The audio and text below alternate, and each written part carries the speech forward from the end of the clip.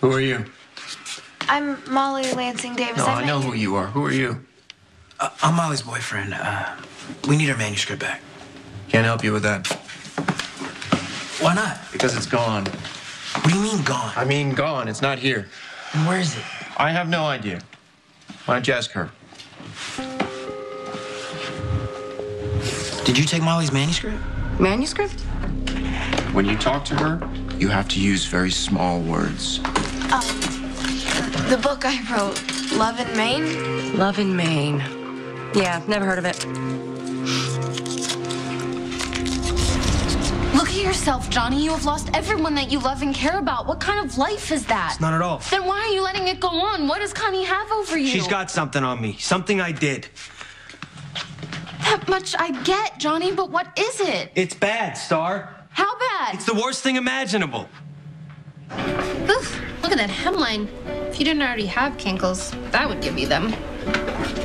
Maxie, what a pleasant surprise. Pleasant for who? Whom? Sorry. Uh, you went to uh, your first doctor's appointment, right? For in preparation for your surrogacy. How did it? How did it go? How do you think it went, Spinelli? And why the hell do you care?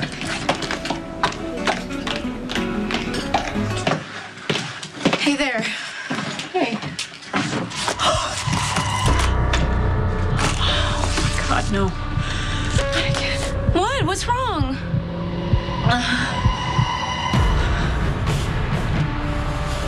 Welcome to the PCPD. Yeah, appreciate it. Kind of feels like you've already been working here. Yeah, I didn't bet you'd expect to get stuck with me as a partner, you know? Sorry about that. I know Anna didn't get a chance to ask you for your input. No, no, no. If she had, I would have been all for it. I think we did a pretty good job working the pathogen case. It's gonna feel like you're slumming a little bit, though. FBI and then chief of detectives in Llanview, and now this. I'm happy to have the job. I'm happy to be here. That's good. It's not gonna be boring. Promise you that. You never know what's gonna walk through those doors. I'm telling you, you're locking up the wrong guy.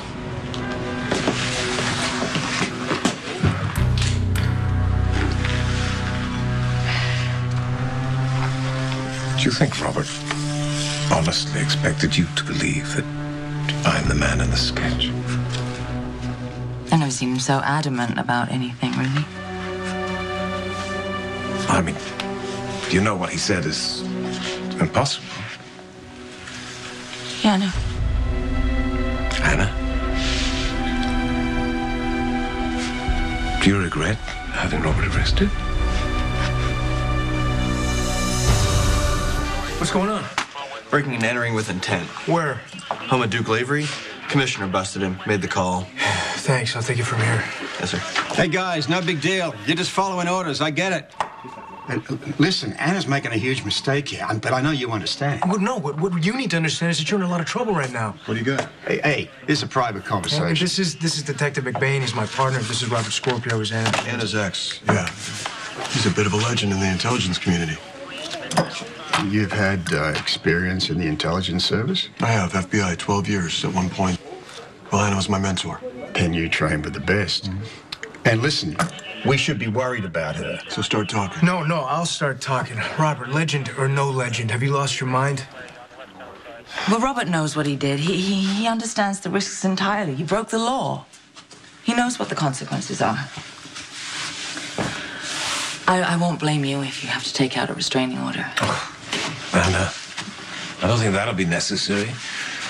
I mean, Robert will wake up after a night in jail and he'll have cooled his heels. The, the very worst, he'll probably have like a crick in his neck.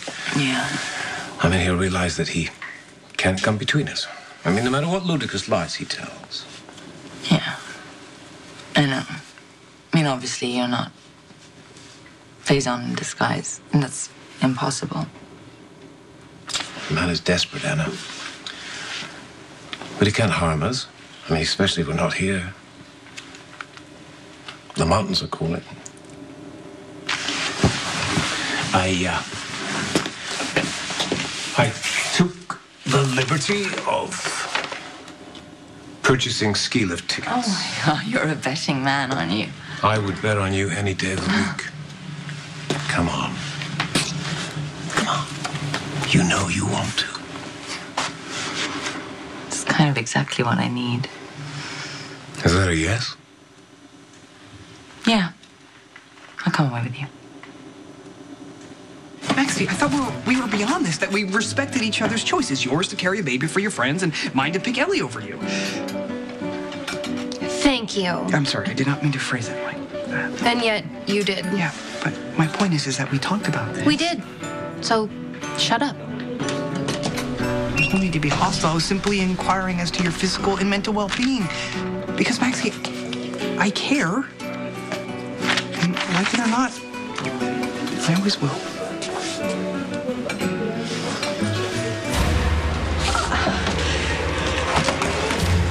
You're seeing something. What is it? It was a, um, a mouse. It was over in the corner. We've Olivia, been having a you've terrible had enough episodes mice. in front of me. You gave me that look. You just gave it to me again now, and you gave it to me the other day when we told you that Maxie was going to be our surrogate. I don't know what you're talking about.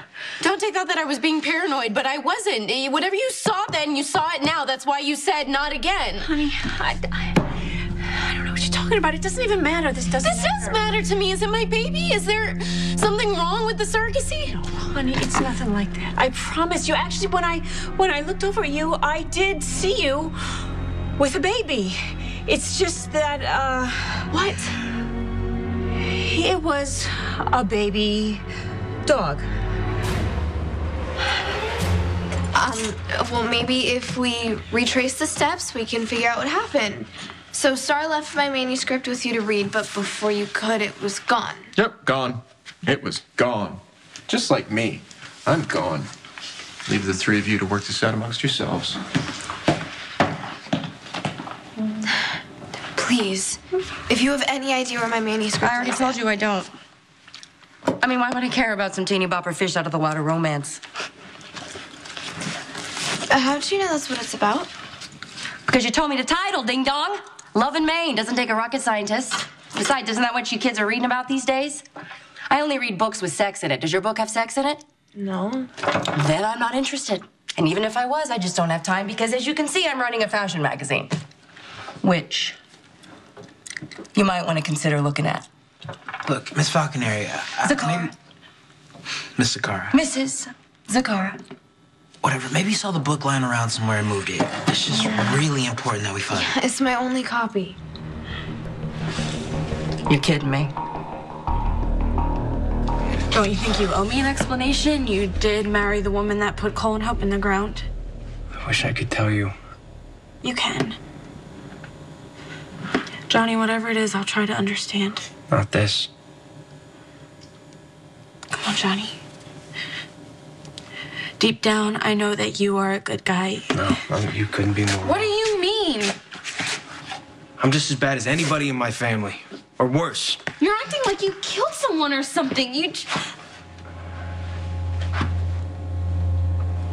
Oh my god. You did.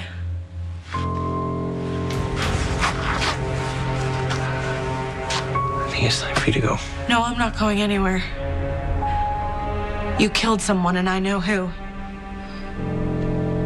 I'm so surprised I didn't figure it out before. It had to be big enough for you to trash your life and marry Connie. Starr, And you were you were a suspect the whole time. I just never thought that you could actually Starr, that you would murder your own grandfather. But you did, didn't you? my grandfather. The cops liked Heather Weber for that. But she was never convicted. I don't even think she went to trial. The case is still open. Connie's blackmailing me has nothing to do with Anthony's death. Okay, and why would I kill him? It makes no sense. It would a little. If it had to do with what Anthony did to me. His part in Cole and Hope's death. Wait, you don't have another copy of this book? Oh, uh, well, I did print out another one. But it's gone, and it's my fault. But I can still turn it. Well, that's unlikely. But don't you have like a um, original, like on your computer? I mean, you didn't. Did you use a typewriter or something? You going all old school on me now? No, I have a computer. Yeah. But I accidentally overwrote the file. It's not funny, all right? Molly worked really hard on this book, and it's good. Like, legit good. Legit good. I'm so sorry. I just can't help you. But keep your chin up, huh, sweetie? Because you're young and you got plenty of time to write another book. No, not one like this. It was a labor of love. Oh, come on, this is crazy. It's gotta be around this office somewhere. You gotta at least let us take a look. Hi, Maxie. Damian. Hey, gracious greetings. Am I interrupting something? No. Yes. I was asking Maxie how her first doctor's appointment went when I received a verbal lashing for no reason. Actually, there is a reason. And what is that supposed to mean? May I urge you to be sensitive with Maxie? She's wounded from my rejection. I'm still here. Well, it's very considerate for you to be so concerned. I actually wasn't referring to our relationship. Then what was it you were referring to? Well, I saw you and Lulu's lab reports, and I'm aware that you both had your first hormone injection. Oh, so now you're stalking me. It's her job. Might I remind you that she's a lab technician? Uh, And hormones are a very powerful thing, Maxie, capable of sending even the sanest people on an emotional roller coaster. And the side effects can include irritability. I am not irritable. There is no sugar in here. I need sugar. Maxie's gonna give birth to a dog. No, honey, for one thing, that is physically impossible.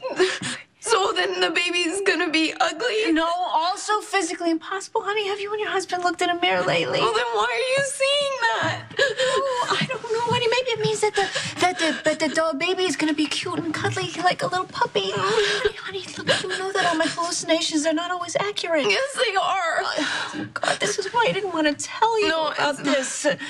It's not. It's, I I cried this morning when the barista gave me tea instead of coffee. It's not you. It's the hormones. You started that already. They want to optimize my ovulation. You see, because that's what you should be focusing on right now. Okay, preparing for that beautiful, gorgeous, healthy little baby. Not listen to the ramblings of some crazy lady. Okay. All right, why don't you go? You go clean yourself up a little bit. Your mascara could use a little help. I'm sorry, I'm breaking down like that. No, no, no, no, no. Don't even, don't even mention it. I'll be right back.